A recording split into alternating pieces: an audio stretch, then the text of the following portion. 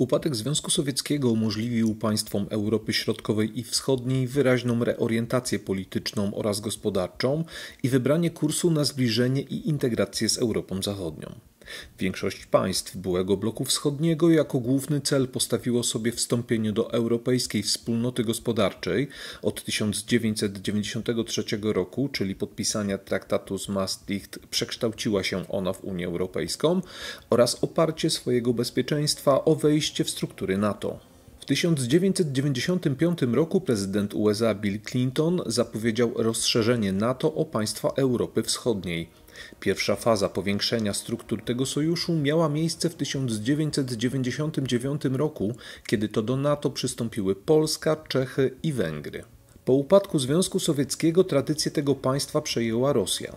W latach 1991-1999, kiedy prezydentem tego kraju był Borys Jelcyn, Rosja zaliczyła ciągły upadek znaczenia i możliwości, co było spowodowane fatalną sytuacją gospodarczą kraju. Trudny dla Rosji okres czasów Jelcyna zwykło się określać mianem jelcynowskiej smuty. Rosja, pomimo próby utrzymania wpływu na były republiki poprzez funkcjonowanie wspólnoty niepodległych państw, czyli struktury, która miała zajmować się współpracą polityczną, gospodarczą i wojskową, nie była w stanie dokonać pokojowej integracji byłych republik. Jedynym państwem, które wybrało zbliżenie z Rosją, była Białoruś, która od 1994 roku rządzona była przez Aleksandra Łukaszenkę. Efektem zbliżenia było powołanie w 1997 roku Związku Białorusi i Rosji. Wprowadzone w Rosji w latach 90. reformy gospodarcze zostały wkrótce zaniechane na skutek sprzeciwu społecznego.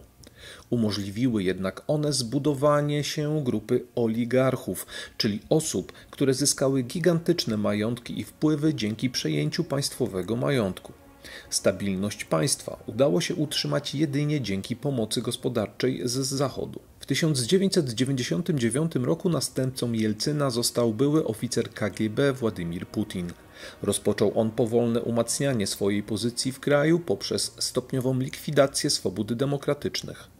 Rosja powróciła do aktywnego uczestnictwa w polityce zagranicznej, a politykę gospodarczą oparto na eksporcie szerokiego strumienia gazu i ropy naftowej. Surowce te stały się jednym z argumentów, jakich używała Rosja w polityce zagranicznej, a celem samego Putina stało się odbudowanie imperialnej pozycji Rosji wraz z jej strefą wpływów z czasów Związku Sowieckiego. W dążeniu do tego celu Putin wykorzystywał wszelkie metody, w tym bezpośrednie użycie siły względem państw sąsiednich. Dawne sowieckie republiki borykały się z wieloma problemami społecznymi i gospodarczymi. Najszybciej poradziły sobie z nimi państwa bałtyckie, czyli Litwa, Łotwa i Estonia, przechodząc sprawnie na system gospodarki rynkowej oraz rozpoczynając proces integracji z Europą Zachodnią. Ukraina przez długi czas usiłowała lawirować między Rosją a Zachodem. Jej sytuacja gospodarcza była bardzo trudna, a problemy, z którymi walczyła, były bardzo podobne do rosyjskich. W 2004 roku w trakcie wyborów prezydenckich doszło do fałszerstw, w wyniku których wygrał popierany przez Rosję kandydat Viktor Janukowycz. Sytuacja ta wywołała falę protestów, którą określano mianem pomarańczowej rewolucji. W jej wyniku powtórzono drugą turę pod okiem międzynarodowej kontroli i wygrał w niej kandydat opozycji Wiktor Juszczenko. Jego rządy nie przyniosły jednak oczekiwanych zmian, w efekcie czego w kolejnych wyborach wygrał Janukowicz. Wybrał on kurs na zbliżenie z Moskwą, a to spotkało się z poparciem wschodniej części kraju, gdzie dominowała ludność rosyjskojęzyczna. W części zachodniej Ukrainy dominowały natomiast postawy sprzyjające zbliżeniu się z Zachodem. W 2013 roku doszło do kolejnej rewolucji na Ukrainie, tak zwanego Euromajdanu, której powodem stało się odłożenie podpisania przez Janukowycza umowy stowarzyszeniowej z Unią Europejską. Doszło do regularnych starć z policją. W 2014 roku udało się Ukraińcom obalić Janukowycza. Konsekwencją Euromajdanu była interwencja rosyjska, w efekcie której najpierw udało się Rosjanom opanować Krym, a potem doprowadzić do antyrządowej rewolty w obwodach donieckim i ługańskim. w efekcie czego Ukraina straciła nad nimi kontrolę. W lutym 2022 roku Rosja, licząc na szybki sukces, rozpoczęła agresywną wojnę z Ukrainą, dążąc do jej podporządkowania. Jej kalkulacje okazały się jednak błędne i Ukraina stawiła skuteczny opór. Kursem prozachodnim próbowała zmierzać również Gruzja. Od 1992 roku jej prezydentem był Eduard Szewardnadze. Na skutek działań rosyjskich zróżnicowana etnicznie Gruzja straciła kontrolę nad Abchazją, południową Osetią oraz Adżarią. W 2003 roku Szewardnadze na skutek skandalu wyborczego traci władzę. Jego następca, Michael Szakaszwili, w 2008 roku musi zmierzyć się z Osetią, która prowokuje wojnę z Gruzją. Ten konflikt powoduje rosyjską interwencję pod pretekstem ochrony Osytyjczyków. Kończy się ona klęską wojsk gruzińskich. Gruzja utrzymuje niepodległość, jednak jej dążenia proeuropejskie zostają powstrzymane. Do rosyjskiej interwencji doszło również w 1991 roku w Mołdawii. Tam z rosyjskiej inspiracji zbuntowało się przeciw rządowi Naddniestrze, które dzięki wsparciu Rosji funkcjonuje do dziś. 1991 roku niepodległość ogłosiła Republika Autonomiczna Czeczenii. Jej prezydentem został Dżohar Dudajew. Państwo to zostało jednak uznane jedynie przez Afganistan i Gruzję. W 1994 roku do Czeczenii, traktowanej przez Rosjan jak zbuntowane terytorium, wkroczyły wojska rosyjskie. Rozpoczęła się pierwsza wojna czeczeńska. Atak na stolicę kraju, Grozny, zakończył się dla Rosjan całkowitą katastrofą. Rozpoczęły się ciężkie i krwawe walki, w których regularna rosyjska armia nie była w stanie pokonać lekko uzbrojonych Czeczenów. Mimo utraty Groznego w 1995 roku, czeczeńscy bojownicy odbijają stolicę rok później i na mocy rozejmu zmuszają Rosjan do opuszczenia republiki. W 1999 roku Rosjanie rozpoczęli II wojnę czeczeńską. Pretekstem do jej wybuchu były zamachy terrorystyczne w Rosji, o które oskarżono Czeczenów. Wiele jednak wskazuje na to, że były to prowokacje przygotowane przez rosyjskie służby specjalne. Wojska rosyjskie, prowadząc działania zbrojne, były niezwykle brutalne. Czeczeni, nie będąc w stanie sprostać przewadze, przeszli do działań partyzanckich. W łonie walczących Czeczenów nastąpiła duża radykalizacja, gdyż znaczenie zaczęli osiągać islamiści. Coraz częściej jako metody walki zaczęto używać terroryzmu, co doprowadziło do odwrócenia się od walczących Czeczenów opinii publicznej państw zachodnich. Ostatecznie Rosjanom udało się spacyfikować zbuntowaną republikę, a władzę w niej przejął lojalny względem Moskwy Ramzan Kadyrow.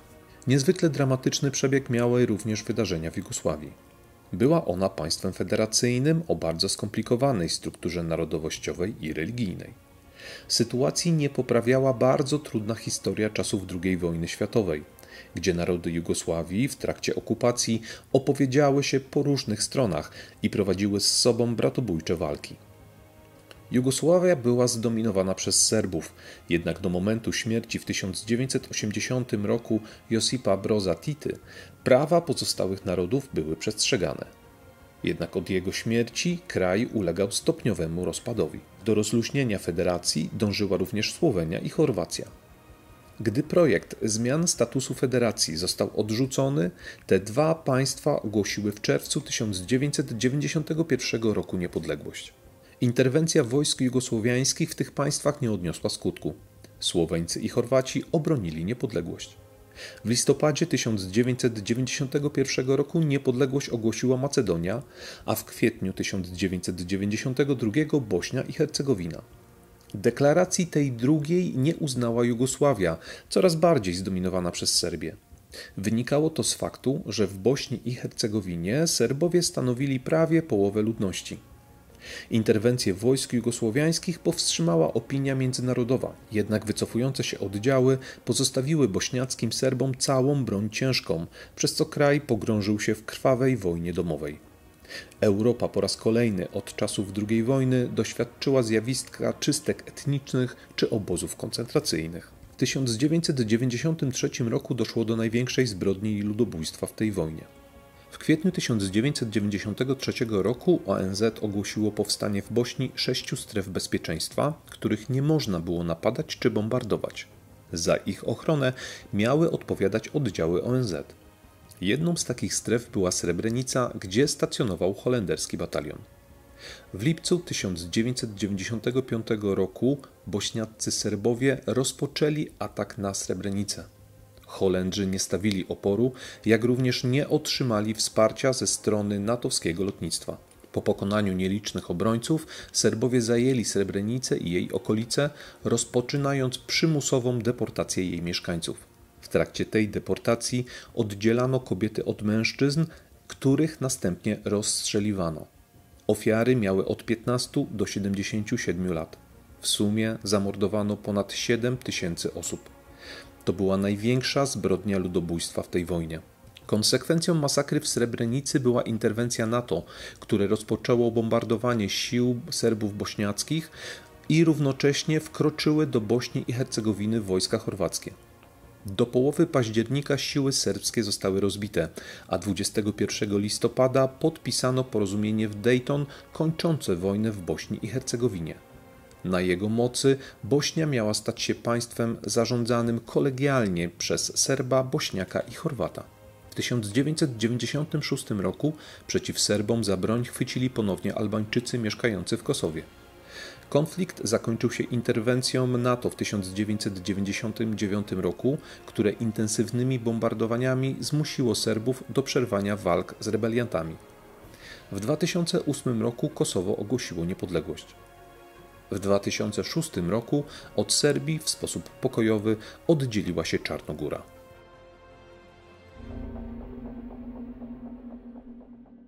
Na poprzedniej lekcji została zarysowana sytuacja w Europie i w jej najbliższym sąsiedztwie po upadku Związku Sowieckiego. Tam znalazła się krótka charakterystyka konfliktów zbrojnych, jakie miały miejsce w tej przestrzeni po 1989 roku. Teraz skoncentruję się na konfliktach, jakie w tym czasie miały miejsce w pozostałych częściach świata. Japonia już w latach 50. weszła w okres błyskawicznego rozwoju. Niemożność posiadania sił zbrojnych oraz odpowiednia polityka monetarna połączona z ochroną własnego rynku umożliwiła inwestycje środków w gospodarkę z naciskiem na rozwój nowych technologii. Wkrótce w dziedzinie elektroniki, elektrotechniki czy motoryzacji Japonia stała się światowym liderem, a w latach 70. drugą po amerykańskiej gospodarką świata. Współcześnie kraj kwitnącej wiśni utrzymuje bardzo wysoką pozycję w zakresie wielkości gospodarki, znajdując się w pierwszej światowej piątce pod tym względem. Równie imponującą drogę przeszły Chiny, które na ścieżkę intensywnego rozwoju weszły po śmierci Mao Zedonga.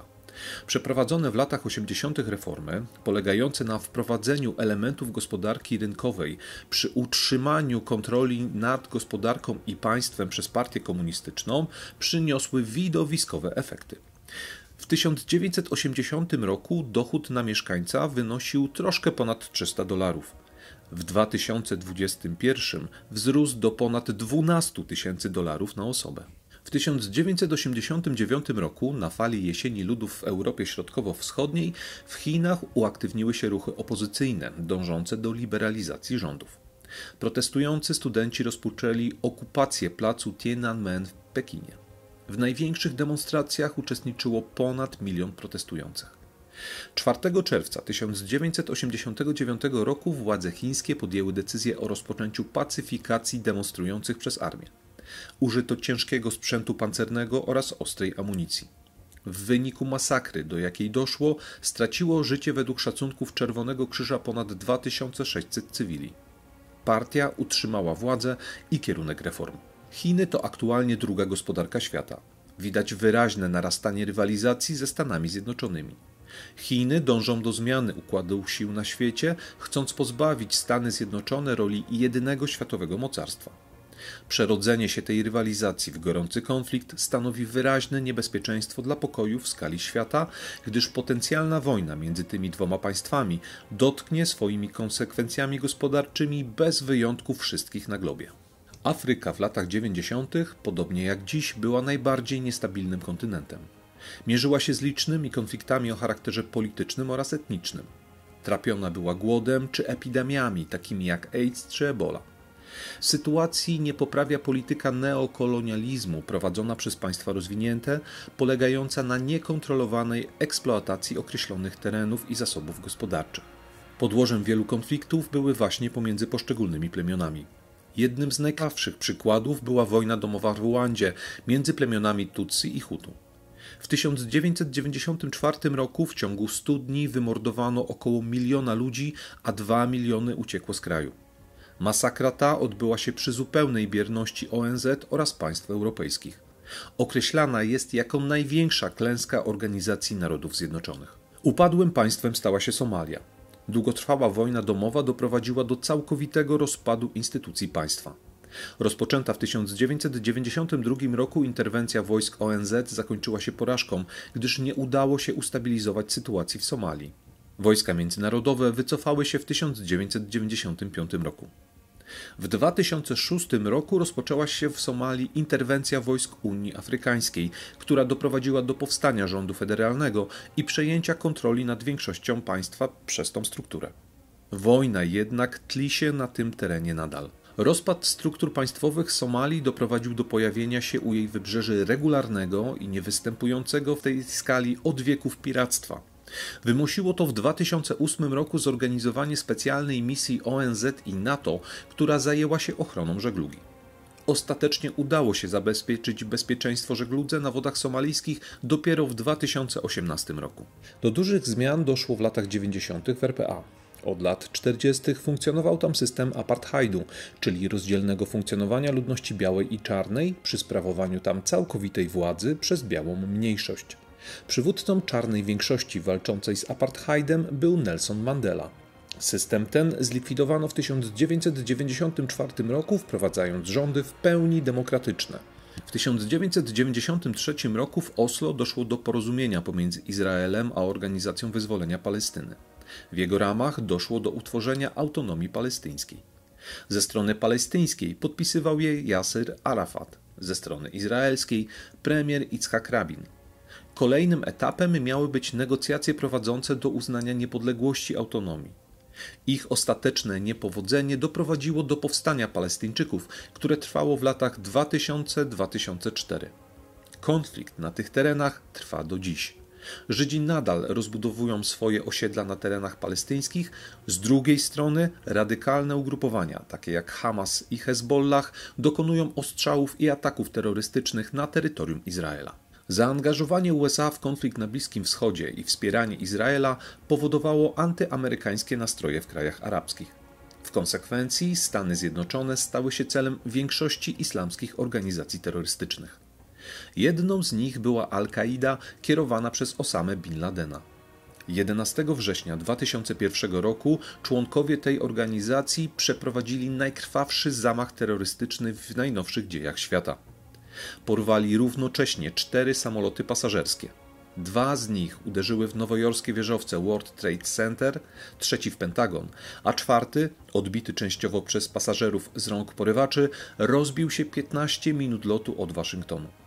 W tych zamachach zginęło blisko 3000 osób. Zamach ten został potraktowany przez Stany Zjednoczone jako wypowiedzenie wojny temu krajowi przez międzynarodowy terroryzm. W 2001 roku podjęto decyzję o interwencji wojsk amerykańskich w Afganistanie. Kraj ten kontrolowany był przez talibów, czyli fundamentalistyczną islamską organizację, która rygorystycznie trzymała się Koranu. W Afganistanie znajdowały się obozy szkoleniowe Al-Kaidy oraz ukrywał się Osama Bin Laden. Udało się przejąć kontrolę nad krajem i rozpoczęto proces jego demokratyzacji – jednak ostatecznie działania te zakończyły się niepowodzeniem. Walki z talibami trwały nadal i mimo długoletniej obecności wojsk NATO nie udało się stworzyć trwałych struktur państwowych. Po wycofaniu się wojsk NATO w sierpniu 2021 roku władza w Afganistanie powróciła w ręce talibów. Mimo wzmożonych działań antyterrorystycznych, kolejne zamachy na początku XXI wieku wstrząsnęły Europą. W 2004 roku dokonano zamachu na pociągi w Madrycie. Kosztował on 191 zabitych i ponad 1800 osób rannych. W 2005 roku zamachu dokonano na londyńskie metro, gdzie zginęły 52 osoby, a ponad 700 zostało rannych. W marcu 2003 roku rozpoczęto działania antyterrorystyczne skierowane przeciwko Irakowi. Reżim Saddama Husseina oskarżono i niesłusznie, jak się potem okazało, o produkcję broni chemicznej i biologicznej oraz sprzedaż jej terrorystom. Wojska Stanów Zjednoczonych wsparły oddziały brytyjskie, australijskie, duńskie oraz polskie. Armia Husseina została pokonana bardzo szybko i opanowano cały kraj. Jednak rozpad struktur państwa doprowadził do chaosu i długoletniej wojny domowej. Wojska amerykańskie wycofały się z Iraku w 2010 roku. W 2011 roku wybuchła wojna domowa w Syrii. Rebelianci dążyli do obalenia dyktatora Basara al-Assada. Przedłużający się konflikt doprowadził do destabilizacji całego regionu. Wmieszały się w niego bezpośrednio Turcja, Iran oraz Rosja. Rebeliantów zaś wsparły państwa zachodnie.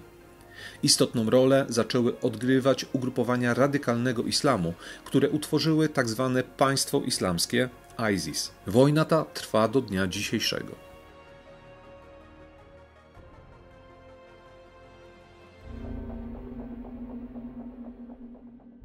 W dwóch pierwszych rządach solidarnościowych ministrem finansów był Leszek Balcerowicz. W grudniu 1989 roku w Sejmie przedstawił on koncepcję reform gospodarczych, które potocznie określa się mianem planu Balcerowicza. Proponował on radykalne i neoliberalne reformy gospodarcze. Zamierzał dokonać transformacji, czyli przekształcenia gospodarki centralnie planowanej w gospodarkę rynkową poprzez zmniejszenie uczestnictwa państwa w życiu gospodarczym, zapewnienia swobody działania gospodarczego podmiotom prywatnym oraz poprzez ograniczenie wydatków. Działania rozpoczęto w 1990 roku. Państwo wydawało więcej pieniędzy niż pozyskiwało, dlatego też zdecydowano się na ograniczenie wydatków, by zmniejszyć opisany wyżej deficyt budżetowy. Zrezygnowano z urzędowego ustalania cen, ułatwiono prowadzenie prywatnej działalności gospodarczej oraz rozpoczęto prywatyzację państwowych przedsiębiorstw. Rozpoczęto proces duszenia inflacji. Jednym z najbardziej znienawidzonych społecznie narzędzi był tzw. Tak popiwek, czyli podatek narzucany na zakłady za zbyt szybkie podwyżki. Działania antyinflacyjne szybko przyniosły zamierzony skutek. Poziom inflacji w 1991 roku spadł do 70% z 586% w 1990 roku. Zniknęły kartki żywnościowe, poprawiło się zaopatrzenie sklepów w towary, powstające firmy prywatne skupiły się na zaspokajaniu potrzeb społecznych, a przez konkurencję pomiędzy nimi poprawiała się jakość ich produkcji oraz ograniczono jej koszty. Sytuacja gospodarcza kraju zaczęła się stopniowo poprawiać. Koszty społeczne tych działań były jednak bardzo duże.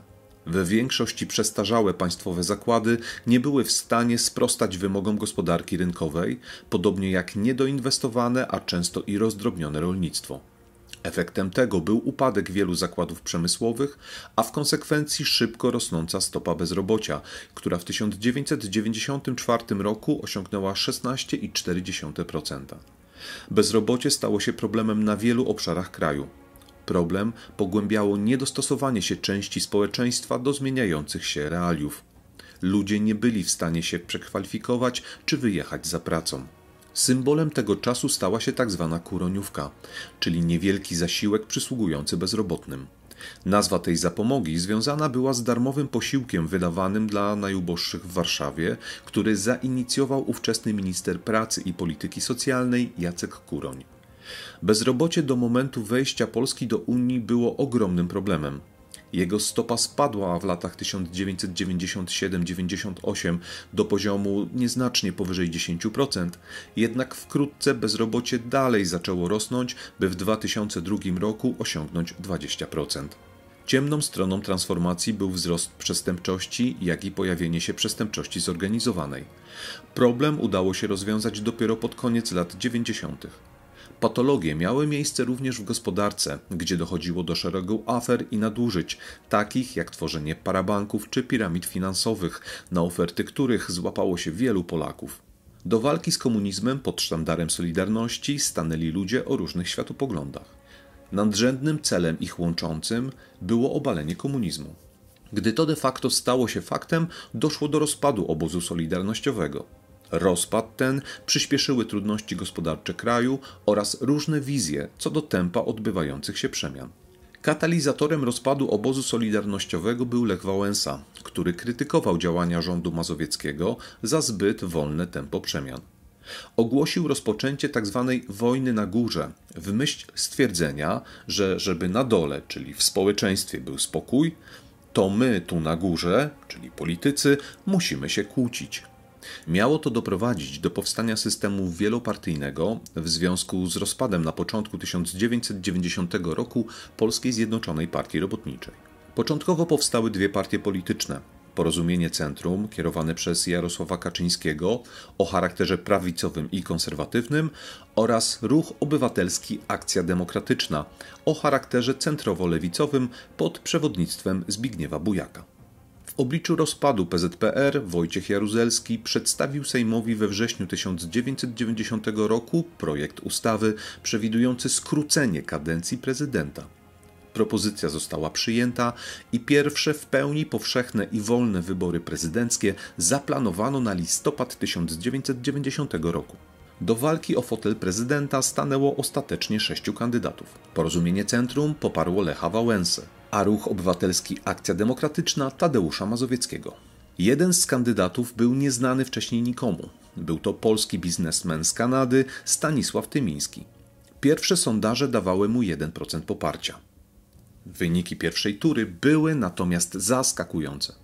O ile w wyniku Wałęsy, który osiągnął 42% spodziewali się wszyscy, to wejście do drugiej tury Tymińskiego było ogromnym zaskoczeniem. W drugiej turze przeciw kandydaturze Tymińskiego zjednoczyły się wszystkie środowiska solidarnościowe, prowadząc bardzo brutalną kampanię polityczną przeciwko niemu.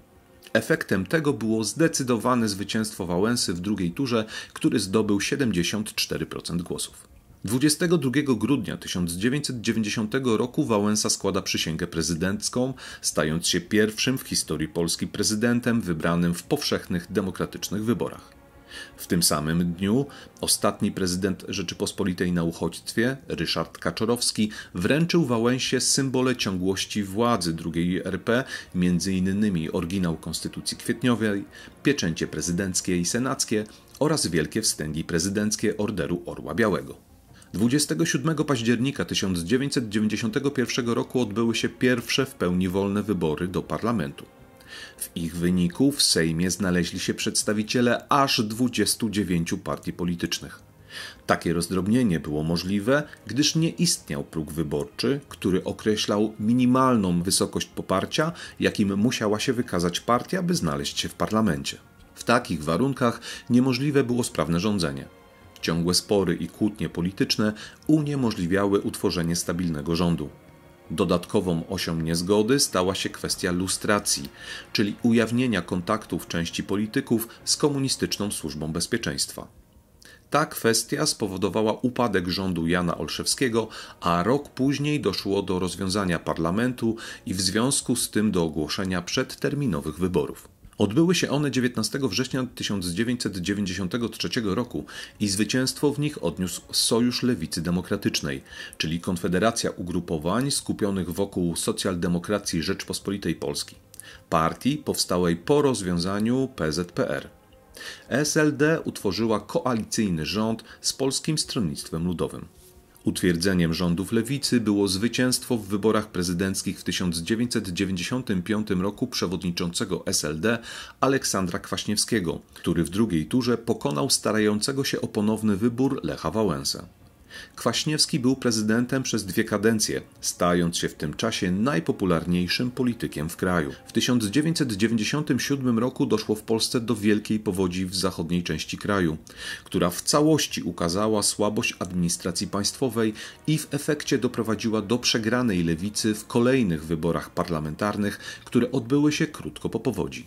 W wyborach wygrała centroprawica, a rząd utworzyła koalicja ugrupowań wywodzących się ze środowiska Solidarności. Mowa tutaj o akcji wyborczej Solidarność oraz Unii Wolności.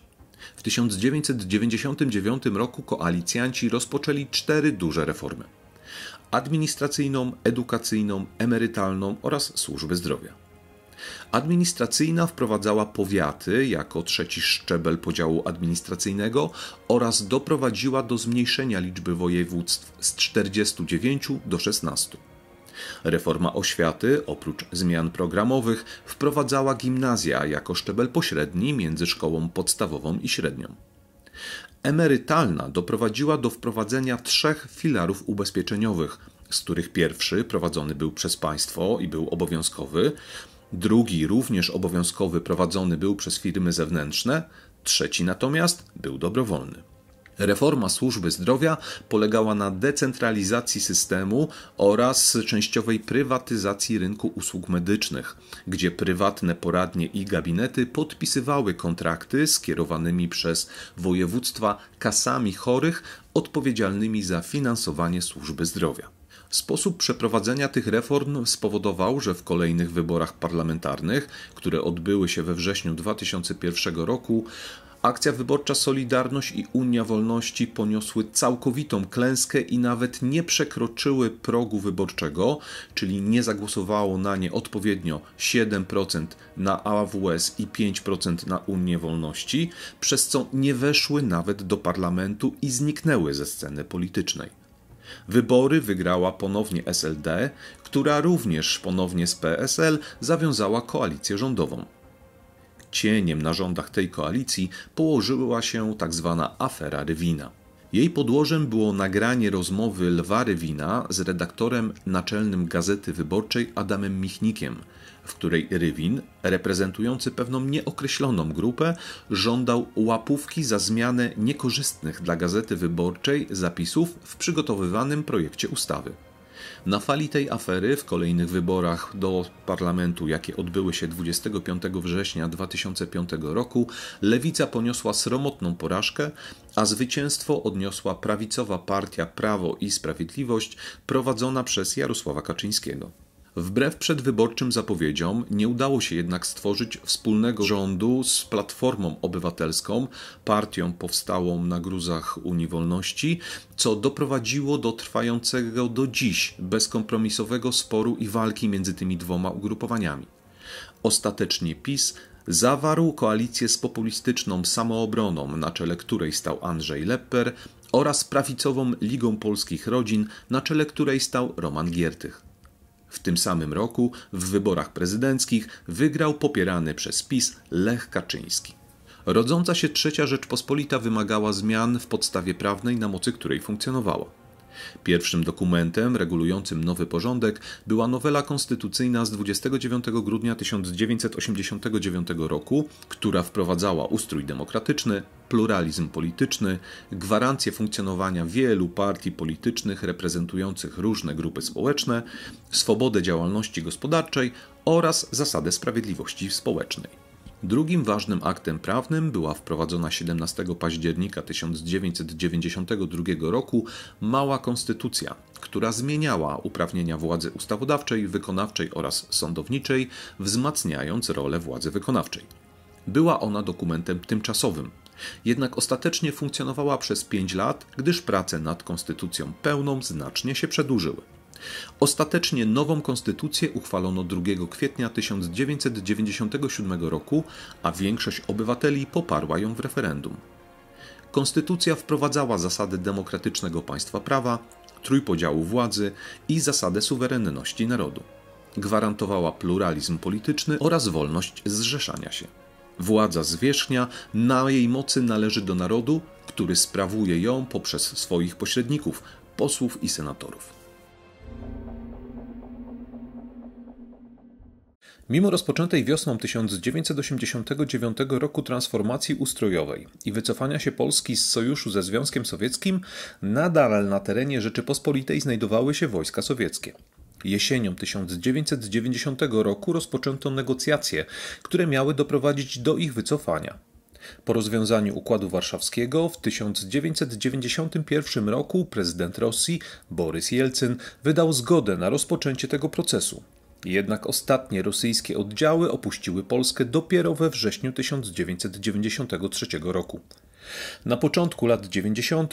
wojska rosyjskie opuściły terytoria prawie wszystkich państw dawnego bloku wschodniego. W lutym 1991 roku wspólnie z Czechosłowacją oraz Węgrami Polska utworzyła zrzeszenie pod nazwą Grupa Wyszehradzka. Miało ono zapewnić państwom sygnatariuszom koordynację działań i wzajemne wsparcie na arenie międzynarodowej. W realiach nowo uzyskanej samodzielności politycznej polska dyplomacja rozpoczęła proces budowania na nowo relacji z krajami zachodnioeuropejskimi. Efektem tych działań było powstanie w sierpniu 1991 roku formuły Trójkąta Weimarskiego, czyli współpracy pomiędzy Polską, Niemcami i Francją. W grudniu 1992 roku powstało Środkowoeuropejskie Porozumienie o Wolnym Handlu, które miało pogłębić współpracę krajów Europy Środkowej w zakresie gospodarki poprzez zniesienie ceł w celu usprawnienia wymiany handlowej, która załamała się po rozpadzie RWPG. Najważniejszym jednak celem, jaki stawiało przed sobą państwo polskie, była integracja ze strukturami zachodnioeuropejskimi, takimi jak Unia Europejska i NATO. Co ważne, Cel ten wspólny był dla zdecydowanej większości stron polskiej debaty politycznej i bez względu na to, kto znajdował się u władzy, działania integracyjne były konsekwentnie kontynuowane. W grudniu 1991 roku Polska podpisała Układ Europejski, który był umową stowarzyszeniową z EWG. W kwietniu 1994 roku rząd polski złożył wniosek o przyjęcie do Unii Europejskiej, co rozpoczęło proces integracji. W 1997 roku Rada Europejska podjęła decyzję o rozpoczęciu negocjacji akcesyjnych z Polską oraz pięcioma innymi państwami. Podjęte rozmowy zaowocowały przyjęciem w 2000 roku traktatu nicejskiego, reformującego Unię tak, by możliwe było jej funkcjonowanie w obliczu przyjęcia nowych członków. Polska zakończyła negocjacje sukcesem w 2002 roku. W dniach 7 i 8 czerwca 2003 roku przeprowadzono referendum, w którym 77,45% Polaków opowiedziało się za wstąpieniem do Unii Europejskiej. 1 maja 2004 roku Polska stała się oficjalnie członkiem Unii Europejskiej. Procedura przystąpienia Polski do NATO rozpoczęła się już w 1989 roku. W 1990 roku Polska nawiązała z NATO stosunki dyplomatyczne, a rok później uczestniczyła w posiedzeniu Północnoatlantyckiej Rady Współpracy. Mimo wyjścia z rosyjskiej strefy wpływów, NATO nie było pewne, czy przyjęcie nowych członków to dobry pomysł. Obawiano się drażnienia Rosji.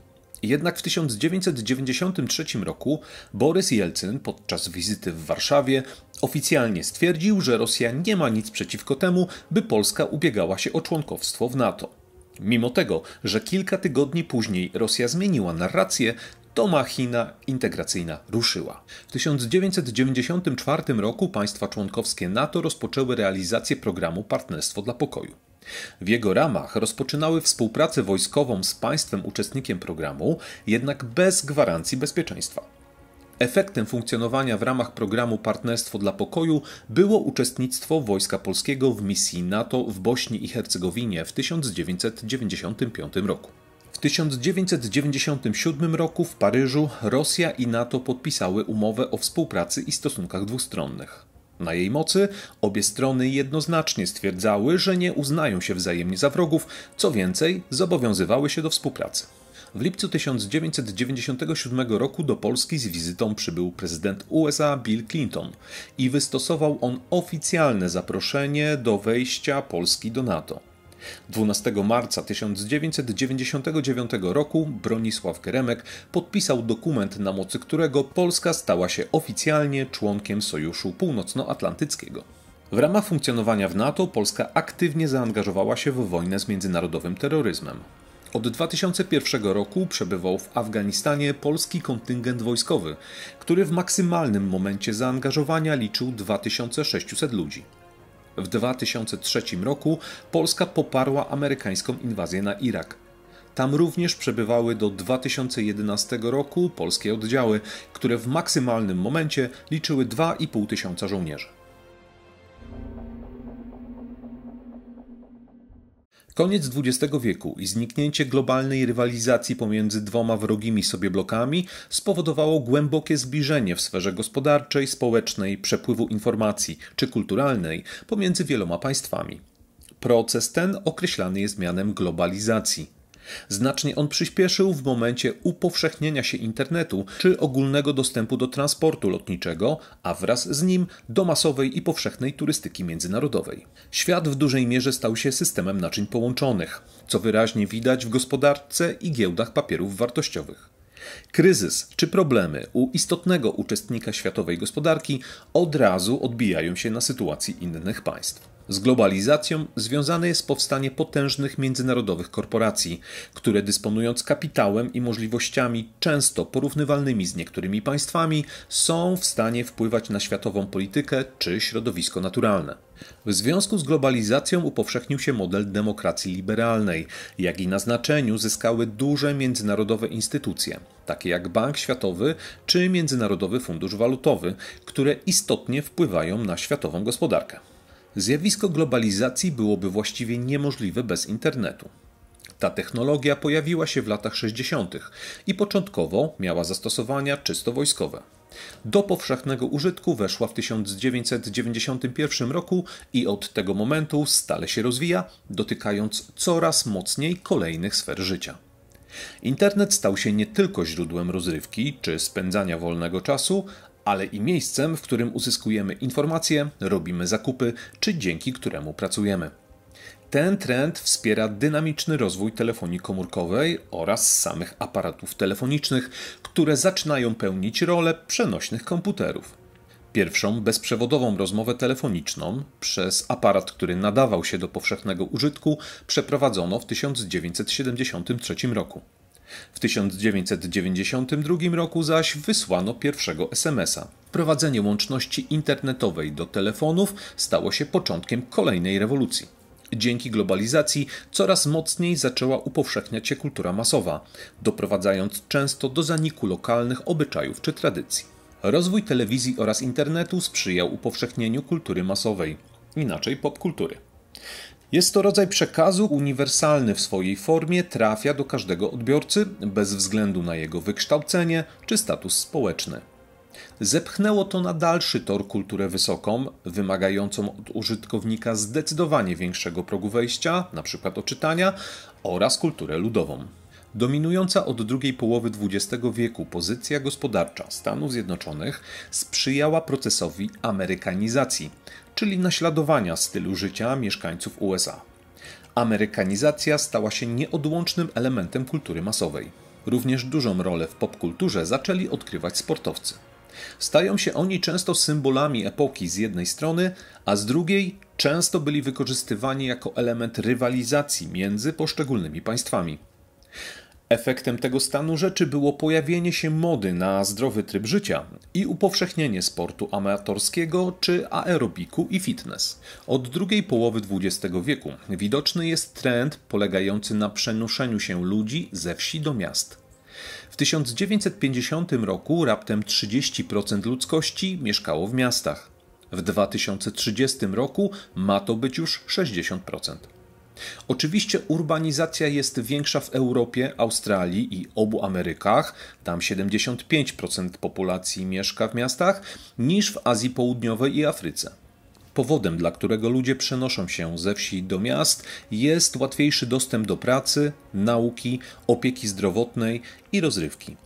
Często w największych miastach dochodzi do przeludnienia, a w związku z tym pojawia się tam problem bezdomności czy wzrostu przestępczości. Na obrzeżach takich przeludnionych miast często funkcjonują slumsy, czyli dzielnice biedy. Po II wojnie światowej upowszechniło się zjawisko migracji. Ludzie porzucają swoje dotychczasowe miejsce zamieszkania w poszukiwaniu lepszego życia gdzie indziej. Najpopularniejszym kierunkiem emigracji stały się Stany Zjednoczone, kraje Europy Zachodniej, Australia, arabskie kraje Zatoki Perskiej czy wysoko rozwinięte państwa Dalekiego Wschodu. Pierwotnie emigranci byli słabo wykształceni i posiadali niewielkie kwalifikacje. Dziś, na skutek globalizacji, trend się zmienił, gdyż migrują również ci z lepszym wykształceniem czy wyjątkowymi kwalifikacjami. Sprzyja to krajom będącym celem takiej migracji, gdyż pozyskują oni bez nakładów wysoko wyspecjalizowaną kadrę techniczną czy naukową, a to pozwala im na jeszcze szybszy rozwój.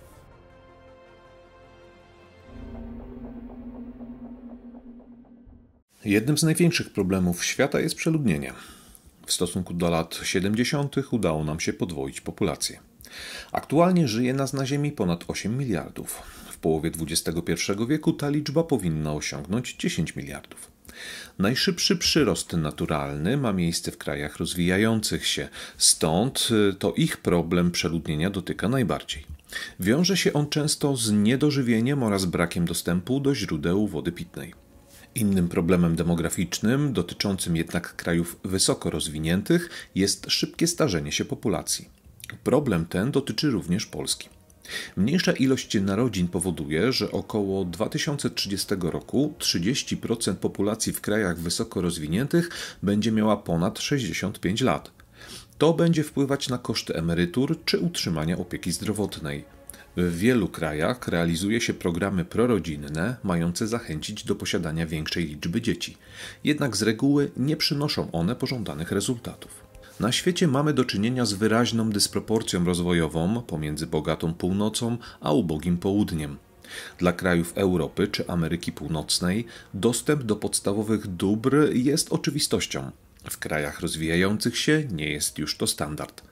Najgorzej sytuacja wygląda w tzw. Tak czarnej Afryce, czyli tej części kontynentu, który znajduje się na południe od Sahary. Rozwój tamtejszych krajów, trapionych przez liczne konflikty wewnętrzne, jest bardzo powolny. Rozwojowi nie sprzyja także ograniczony dostęp do edukacji. Nawet w najbogatszym kraju Afryki, Republice Południowej Afryki, dysproporcje między bogatymi a biednymi są bardzo wyraźne a mimo likwidacji apartheidu linia podziału między nimi przebiega właściwie wzdłuż podziału rasowego. 85% czarnoskórych mieszkańców tego kraju należy do najuboższych, a 87% białych do grupy zamożnych. Podział świata na bogatą północ i biedne południe przekłada się na nasilające się migracje ludności. Ich celem najczęściej są bogate kraje zachodniej Europy czy Stany Zjednoczone. Proces ten ma okresowo charakter masowy i nielegalny, co doprowadza do kryzysów granicznych oraz śmierci wielu migrantów. Upadek Związku Sowieckiego oraz otwarcie granic Unii na mocy traktatów Schengen spowodował rozkwit przestępczości. Kwitł nielegalny handel bronią czy narkotykami. W odpowiedzi na te zagrożenia w 1994 roku utworzono Europol, czyli Europejski Urząd Policji, którego zadaniem jest współpraca ze służbami poszczególnych państw w celu zwalczania przestępczości zorganizowanej mającej charakter międzynarodowy. Przestępczość zorganizowana szczególne piętno wywiera na kraje Ameryki Łacińskiej, takie jak Kolumbia, Salwador, Brazylia czy Meksyk. Szczególnie trudna sytuacja jest aktualnie w Meksyku, gdzie władza straciła właściwie kontrolę nad całymi dzielnicami stolicy i do walki z gangami wysłano wojsko. W starciach pomiędzy poszczególnymi kartelami czy w akcjach wojskowych skierowanych przeciwko nim zginęło od 2006 roku prawie 250 tysięcy mieszkańców Meksyku. Od zamachu na World Trade Center w 2001 roku duży wysiłek społeczności międzynarodowej był położony na walkę z międzynarodowym terroryzmem. Militarne akcje Stanów Zjednoczonych z lat 2001 w Afganistanie i z 2003 roku w Iraku nie przyniosły zamierzonych efektów w postaci zmniejszenia zagrożenia terrorystycznego. Stało się wręcz odwrotnie. Dodatkowe zagrożenie zdeterminowała tzw. Tak arabska wiosna, która w latach 2010-2013 doprowadziła do m.in. wojen domowych w Syrii i Libii, gdzie zaczęły się ujawniać struktury islamskich terrorystów. Największym tworem stworzonym przez terrorystów okazało się być tzw. Tak państwo islamskie, które w 2014 roku powstało na terenie Syrii i Iraku. Rekrutację swoich członków prowadzi ono nie tylko na obszarach arabskich, ale i wśród młodych osób pochodzenia arabskiego, urodzonych i wychowanych w krajach Europy Zachodniej. Szybki, niepohamowany rozwój cywilizacyjny, a nade wszystko rozwój przemysłu ciężkiego, prowadzi do degeneracji i zniszczenia środowiska naturalnego. Jednym z największych problemów jest ocieplenie klimatu, powodowane przez tzw. Tak efekt cieplariany. Jego efektem jest m.in. topnienie lodowców i podnoszenie się poziomu mórz i oceanów. Aby przeciwdziałać efektowi cieplarnianemu, w 2005 roku wszedł w życie tzw. Tak protokół z Kyoto, którego celem jest ograniczenie emisji dwutlenku węgla do atmosfery. Protokół nie został jednak podpisany przez dwóch największych wytwórców dwutlenku węgla, czyli Chiny i Stany Zjednoczone. Zapisy tego protokołu szczególnie są uwzględniane przez Unię Europejską, co prowadzi do opracowania nowych, energooszczędnych technologii oraz zwiększenie nacisku na wytwarzanie energii ze źródeł odnawialnych. Tą samą drogą podąża Japonia. Na świecie działa wiele organizacji ekologicznych, które próbują zwrócić uwagę opinii publicznej na zagrożenie dla środowiska naturalnego generowane przez człowieka.